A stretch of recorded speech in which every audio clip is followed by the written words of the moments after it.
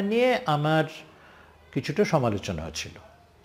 সেটা ওর সঙ্গে সামনাসামনি কথাতেও হয়েছিল, অজিতেশের সঙ্গে।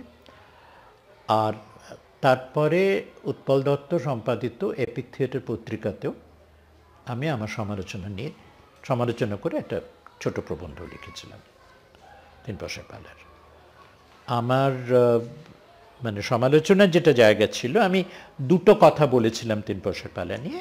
দুদিক থেকে দেখছিলাম, একদিকে আমি মনে করি যে বাংলা থিয়েটারের ইতিহাসে একটা মাইল ফলক তিন পয়সার পালা, কারণ পুরো আমাদের পুরো পেশাদার থিয়েটার বা ব্যবসায়িক থিয়েটারের যে পরম্পরা, গিরিশ ঘোষের পরম্পরা যদি বলি, সেটাতে শুধু মুখের কথার উচ্চারণের এমন একটা অহেতুক প্রাধান্য ছিল যে থিয়েটারের বাকিটা, যেখানে দৃশ্যপট, দৃশ্যের মধ্যে গতীয়তা শারীর অভিনয়, এতগুলো জিনিস, সংগীত, এগুলো কিন্তু প্রচণ্ডভাবে অবহেলিত হয়েছে আমাদের থিয়েটারে।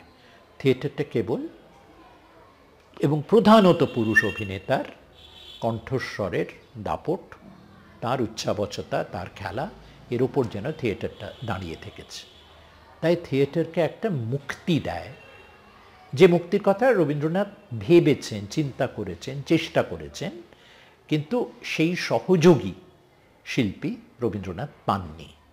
তার ফলে ওর সেই স্বপ্নটাকে উনি কখনো সার্থক একটা রূপায়ণ করতে পারেননি রবীন্দ্রনাথ। কিন্তু এই সম্ভাবনাটা কথাটা বারবার ভেবেছেন, বলেছেন, চেষ্টা করেছেন। সেইটাকে সার্থক করে প্রথম অজিতেশ তিন পয়সার পালা। এবং এটা আমি উচ্ছ্বসিত প্রশংসা করি সেই দিক থেকে। আর অন্যদিকে ব্রেক্সটের নাটকের যে রাজনৈতিক কি বলব? জটিলতা, গভীরতা, সেইটে কোথায় আমোদ, মজা, কৌতুকের প্রচণ্ড প্রাণবন্ততায় কোথাও হারিয়ে যায়। তাই এই দুটোর মধ্যে একটা ভারসাম্য রক্ষা না করতে পারলে ব্রেক্সড হয় না। সেইটা আমার সমালোচনার ব্যাপার ছিল, প্রশ্ন ছিল, আমি লিখেছিলাম সেটা। ওর সঙ্গে মৌখিকভাবে আলোচনা করেছিলাম, লিখেওছিলাম, আর আরেকটা কথা এই প্রসঙ্গে আমি বলি, যেটা আমি আমার কাছে খুব মূল্যবান আর কি। যে এর বছরখানেক বছর দুয়েক পরে অজিতেশের রূপান্তরিত তিনটে বিদেশি নাটক একজন প্রকাশক প্রকাশ করার উদ্যোগ নেন। নান্দিকার ত্রয়ী বলে। তার মধ্যে তিন পয়সা পালা ছিল এবং আরও দুটো নাটক ছিল।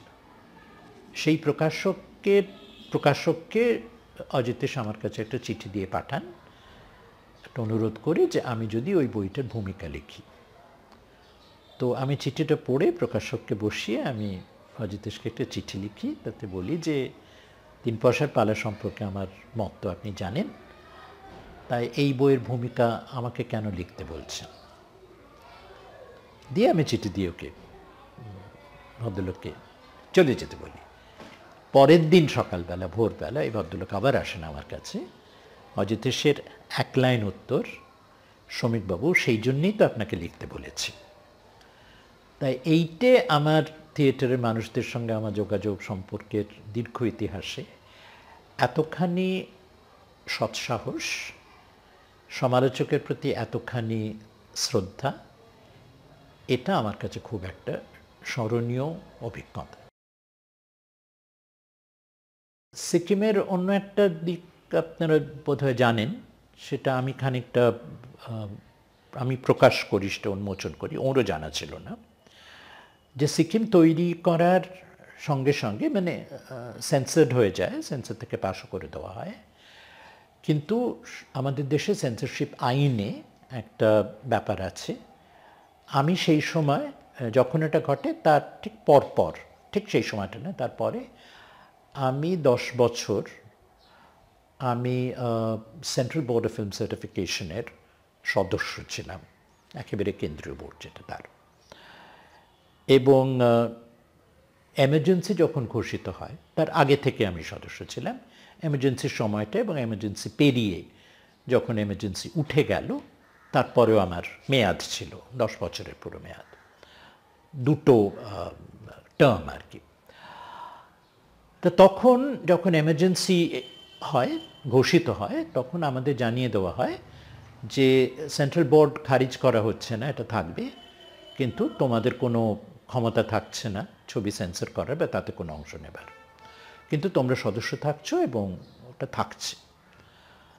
তখন সেইটা সুযোগ নিয়ে আমি সরকারকে লিখি যে আমি তাহলে এই সময়টা আমি নানা রকম দলিলপত্র, আপনাদের অতীত কাজকর্ম, এগুলো যদি রেকর্ডস আমি একটু পরীক্ষা করার সুযোগ পাই, দেখতে পাই, আমার কিছু প্রশ্ন আছে, তোমরা বলেন যে হ্যাঁ সেটা আপনি জানতে পারেন, এই। সেই সুযোগ নিয়ে আমি ওই তার আগে গত দশ বছরে কী কী ছবি নিষিদ্ধ ঘোষিত হয়েছে সেটা জানতে চাই।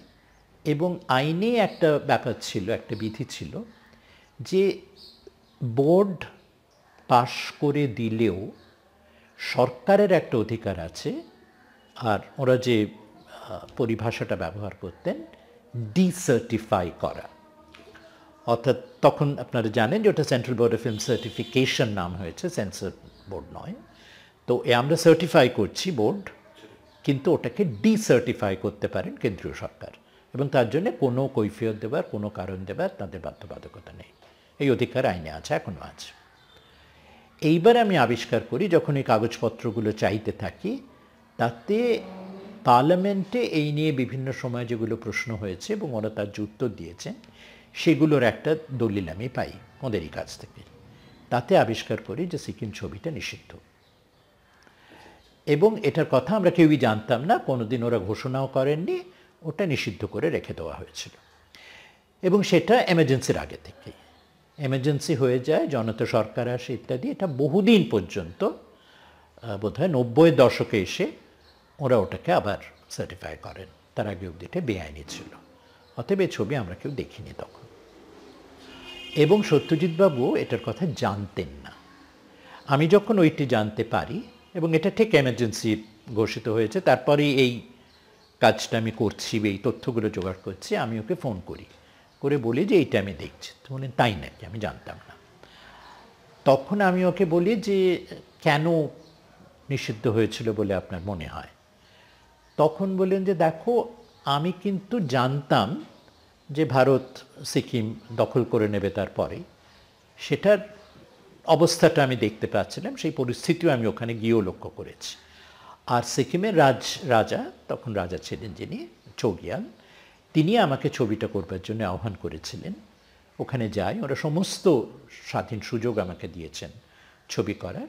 কিন্তু আমি জানতাম যে এটা রাজনৈতিক কোনো সংকটের বা জটিলতায় পড়তে পারে, আমি তার মধ্যে জড়াতে চাইনি। আমি তাই সিকিমের ঐতিহ্য, সিকিমের পুরনো একটা ইতিহাস এবং আমাদের ভারতের ইতিহাস থেকে সম্পূর্ণ স্বতন্ত্র একটা ইতিহাস, সেইটাকে আমি ধরবার চেষ্টা করেছিলাম এবং মুক্ত হয়ে গিয়েছিলাম ওর সাংস্কৃতিক বৈভবে। তারই উপর আমার জোর ছিল।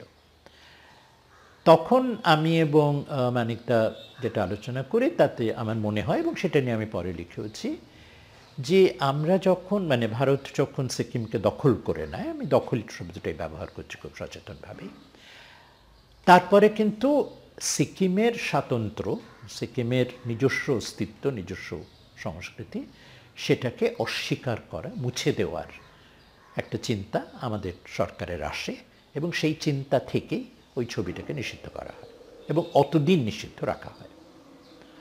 ছবিটা সত্যজিৎবাবুর কাছে ছিল না, কারণ ওদের জন্য করেছিলেন, ওদের কাছেই ছবিটা ছিল। আর ওরা তখন দেশ ছেড়ে বিদেশে চলে গেছেন।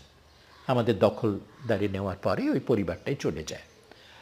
এবং ওদের কাছে একটা প্রিন্ট ছিল। সেই প্রিন্টটা বিদেশে পরে দেখানো হতে থাকে এবং সেই প্রিন্টটা থেকে আবার পরে প্রিন্ট তৈরি করে আমাদের দেশেও দেখানো হয়েছে নব্বই দশকের পরে। তারপরে নিষেধাজ্ঞাটা তোলা হয়। আমি পরে, অনেক পরে তার ফলে ছবিটা দেখেছি। ছবির এই ইতিহাসটার সঙ্গে আমি, এটা আমি আবিষ্কার করি এবং এটা নিয়ে লেখালেখিও করি তখন। কিন্তু কোনো সরকারি রাজ্য সরকারও বা কেন্দ্রীয় সরকারও কেউ এটা নিয়ে কোনো রকম প্রতিক্রিয়া জানাননি, কিছু করেননি কিন্তু। অনেক দিন পর্যন্ত। তাই সিকিম ছবিটার একটা খুব অদ্ভুত ইতিহাস এবং তৈরি। ছবি দেখে আমার কোথাও মানে এগুলো জানতাম বলেও হয়তো হতে পারে। আমার কোথাও মনে হয়েছিল যে অনেকগুলো মানে বিধি নিষেধ গণ্ডির মধ্যে এই ছবিটা করা। অর্থাৎ স্বাধীনভাবে একটা ছবি যদি সিকিম নিয়ে সতীশবাবু করতে পারতেন, সেটা বোধহয় অন্য ছবি হতো।